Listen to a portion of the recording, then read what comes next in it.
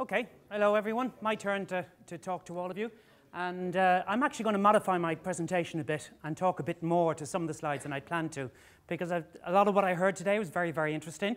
Thank you, Howard. I couldn't have asked for a better person to stand up before me uh, and actually talk about hyper, hyperconvergence and where it makes more sense. Um, some of you have heard me talk before in some of the tech field days and the like. And from that, you'll know I actually hate buzzwords. You know, we try and put great names on things uh, to actually make it sound more important than it actually is. Uh, we forget about the problems. What are the problems we're trying to solve in the first place? Why did we actually get there in the first place?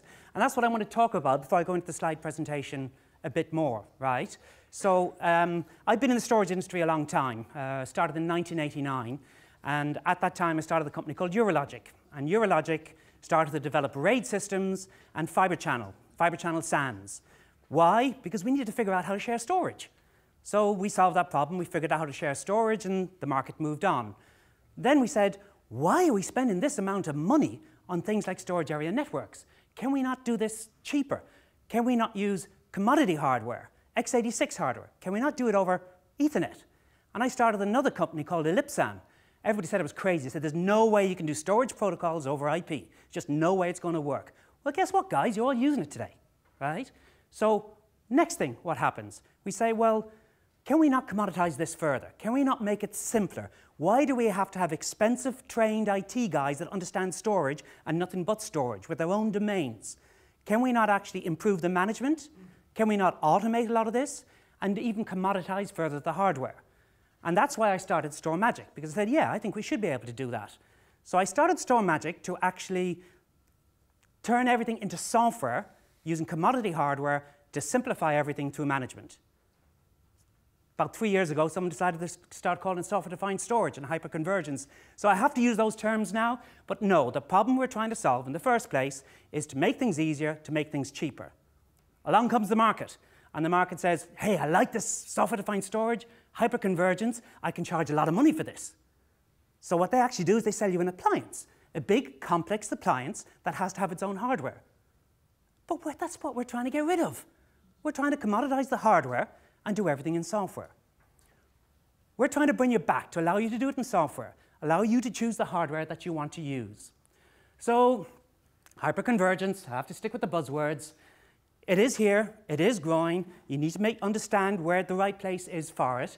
Just some of the data on what's actually happening. Already, uh, there's 24% of the market is supposed to be using hyperconvergence. 41% of the market planning to use hyperconvergence over the next couple of years. It is a large growing market. And what do we mean by hyperconvergence? This is the Gartner uh, um, version of what is meant by hyperconvergence. Fundamentally, when it comes down to it, it is server, storage, network, all managed by software. As simple as that. So what do we do? StorMagic allows hyperconvergence to be made available to the entry level of the market. What's the entry level of the market? I'm not talking about necessarily small to medium-sized businesses, though that is a very good section in the market to use that technology. It could be very, very large enterprises with multiple remote locations, sometimes called robo. But if you look at some of our customers, we have things like wind farms. Well, I certainly would not call a wind farm in the middle of an ocean a remote office. We use the term distributed enterprise to describe. It's organizations that have different locations, that the applications in those, those locations is key to their company. German army uses us for battlefield communication systems. Is that a remote office? Last, I don't think I know many IT guys that want to be dropped into the middle of a battlefield to actually look after it. The basic principle of what they're looking for, they have key applications that must continue running. They need to service their customers. Their customers could be a retail store, a guy wanting to check out. Their customer could be a battlefield communication system. It could be that wind farm. But those applications must run. And for that, they want to have some form of high availability. They want to be able to, if something fails, that their applications continue running, that they can move that application into another server seamlessly without the application even realizing a problem has actually happened. And they want to be able to manage that easily and simply remotely. They don't want to change it, they want it to work. Get it in there, get it working, make sure it solves the problem and it continues working. And anything to do with it they should be able to modify remotely. They should be able to see what's going on, modify what's going on. Even if something fails, they should simply be able to, to replace the failed component while the system is still live during normal working hours.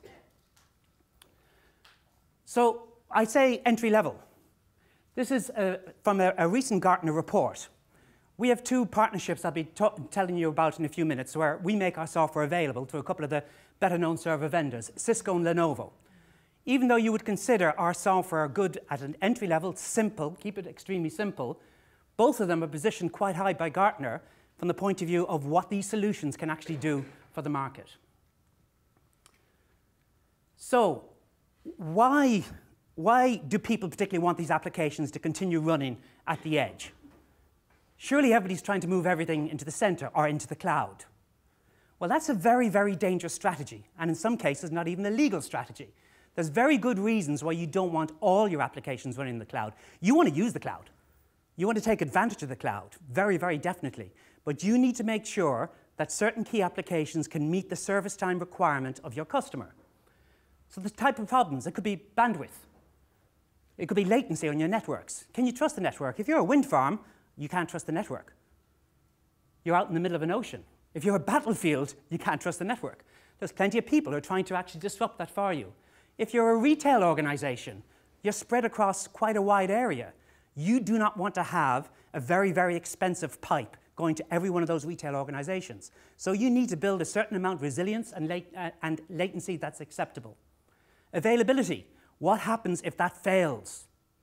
If retail organization, customer goes along with the trolley to the checkout and you say, uh, I'm uh, sorry, would you, would you mind waiting a few minutes? We're just waiting for the server to reboot. 10 minutes later, that customer's going to walk. He's going to leave the trolley. You can go and put it back on the shelf yourself. And he's going to go to the competitor. So you need to make sure you're keeping the customer happy, that the systems continue running. Compliance. Where's the data? And security is related to this, so where's the data? Do you know where data is being kept? What legislation is being kept under? What country is that data in? Can the country that that data is being kept in change the law so that they can get access to your data? you need to make sure where your data is, and there is a lot of legal limitations now on where your data is actually kept. So what is it? What is it we do that I've been talking about here? We call our product SVSAN. Basically, it is a storage virtual appliance that allows you to build a hyper-converged or software-defined system. It sits on top of a hypervisor. That hypervisor, I'm not going to go into too much technical detail, by the way. If you want more later on, you can have a chat with ourselves at, at the back here. Sits on top of a hypervisor, and it'll actually take ownership of the storage that is within that server. That could be SSD storage, uh, that could be rotating disk drives. It takes ownership of it and makes it available to the hypervisor as a virtual storage appliance. It synchronously mirrors to a second server. So you have two copies of it, active-active, both available at the same time. That means if one fails, the application can fail over to the other side, you have an exact copy of the data. It thinks it's lost a data path, not that it's actually lost one side of the mirror. I've mentioned two, but there's absolutely no reason why you can't expand this to three, four, five, six, seven servers. It's always two-way mirroring, and typically there's a RAID controller underneath here, so you can actually suffer more than two disk failures, Howard. Uh, it depends where those disk failures actually are, because you've got two copies of the data, and you've got RAID, RAID underneath it as well. Howard's right in that if you have more copies of the data, you can have better protection. But what we're trying to do here is keep it cost effective. Try and cover all the situations, try and make it simple, try and make it easy. We're targeting organizations that might have a thousand locations. If you have to put a third server in there, as most of our competitors do, that's 50% of hardware costs across a thousand locations. You don't want to do that. You want to be able to do it in two servers. Because it's designed for entry level, because it's designed for remote office branch office, the actual resources we require are very, very low. We've written the stack completely ourselves. So you typically just want one virtual CPU, one gig of RAM, and it runs on one gig networking. If you put further network links in there, you can use them. You can aggregate across it. You could have two one gigs, three one gigs, four one gigs, or you can use 10 gig if you want as well. But once more, try and keep the costs down, try and keep it simple. From a networking point of view, the front end, whatever your applications are running, that could be running on your normal network. But for the mirroring traffic and for this, the data traffic at the back, we suggest just putting in simple crossover cables, or what we used to call crossover cables, patch cables. You don't need a switch. Keep it simple, keep it light, keep it cost effective, have less components that can actually fail. There is a problem in the industry called split brain uh, in these type of technologies. And what that is, is what happens if the link between the two systems fail. And this is why most of the people out there say you need to have three nodes. Because what you do if you have split brain is any two nodes that can talk to each other are allowed to modify the data. If a node is isolated, it's not allowed to modify the data. So that's why they insist on three nodes.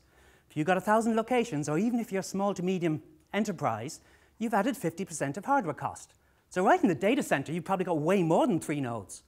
But in a small location, in a remote location, you've added 50% of hardware costs that you don't need. What we do instead is we actually provide a remote neutral storage host. The neutral storage host can actually monitor hundreds of sites. Our largest customer has 2,200 locations. They have one instance of the neutral storage host working in headquarters that's action, acting as a quorum device for all of those locations. Easy to manage, very, very cost effective, requires very, very uh, a little bandwidth, and withstands 3,000 milliseconds latency. You could stick this thing on the moon. So we have this remote, remote device, remote heartbeat that's basically monitoring uh, all of the systems and acts as that third, that third node. So you do not have to add the cost of that third node, or you do not need the type of latency or the type of bandwidth that our competitors actually require. From the point of view of actually getting it out there in the first place, you can use System Center, you can use PowerShell, you can use our web GUI, uh, you can actually push out upgrades out to the system. Uh, if you have a failure in the system, we actually store all the configuration information in the remaining server. You can send out another server to the site with a hypervisor installed. Could be completely different manufacturer, completely different configuration, as long as it has the minimum same capability, and we will automatically rebuild that, we will automatically resynchronize that, and have the system running again. So you can actually do uh, failure recovery, you can actually replace failed systems in normal business hours.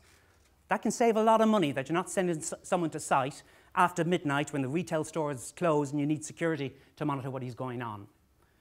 From a management point of view, we don't want to insist that you use a management interface different to you already use. So depending on your hypervisor, depending on what you already have, you can manage this through vCenter, a vCenter plugin. You can manage this through System Center in a Hyper-V type environment. We have a web GUI you can use. We have UCS Director if, you, if you're a Cisco type environment. We, we make, try and make it as easy as possible for you to manage as many sites as you wish. So that's the software. But do you want just the software or do you want to buy a solution? We have two very good partners that we're working very closely with where you can actually order the solution directly. One of those is Cisco. And with Cisco, you can use either their E-Series, which is a router with two blades in there for entry-level solutions. You can order their C-Series, uh, which are larger servers. Uh, with, install our software on that. You can order that through Cisco as well uh, to, to, to build a medium-sized hyperconverged solution. Or with their UCS Mini, the software is now being embedded on top of each of the blades within UCS Mini, so you can share the storage on all of those blades. And you can manage all of that through UCS Director if you want to get very cost effective, we also work closely with Lenovo. Three different models available from Lenovo. With the RS140, you can order a two-server solution with our software installed, fully a, a hyperconverged solution for $5,000. So it's now making it affordable. So the type of locations that are using that with our technology today, restaurant chains. They don't have a lot of data. But there's a lot of applications moving into them, such as people who are ordering online expect to arrive in the restaurant and their meal is ready for them. They're going to take it home. So different solutions available, bringing the cost of hyperconvergence down to where large organizations with multiple remote locations can afford it, small to medium enterprises can afford it, different levels of capability depending on what you actually need. So the benefits of what we actually provide to you. We're allowing hyperconvergence to be cost effective, simple, easy to use, does what it says in the tin, available to small to medium enterprises and to multiple or to sites with multiple remote locations. Very small footprint, greatly reducing costs, Simple, flexible, and with a remote, uh, a, a, remote um, quorum device. How widespread is it? Today we manage 110 petabytes of data. Our typical customer has two to four, two to four terabytes of data.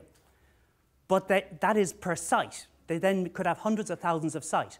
So there are a lot of data they're actually managing through this. We have 1,500 customers worldwide across 23,000 sites. A lot of applications out, a lot of people using it out there. Where does this technology make sense? Education. Energy, I already mentioned wind farms, oil rigs, a lot of uh, oil rig companies are using this now as well. Finance and banking, governments, hotels, manufacturing, retail. I'll give you a couple of case studies of the type of, of customers using this. Kohl's is a large department store in the US. They have 1,200 locations. They're using this in every one of those locations. The advantage to them, as an example, in power and cooling alone, in changing to our technology, they're saving $300,000 a year. Previous to us, they had two servers and they had a storage device. I think actually we mentioned it, it was HP's MSA they were using.